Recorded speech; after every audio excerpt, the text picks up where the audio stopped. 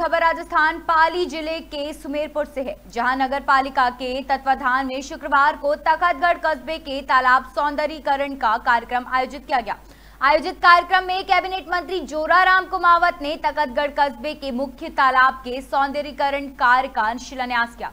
इस दौरान नगर पालिका अध्यक्ष ललित रंकावत ने बताया कि इस तालाब का सौंदर्यीकरण करीब सात करोड़ पिछहत्तर लाख की लागत से लगा है।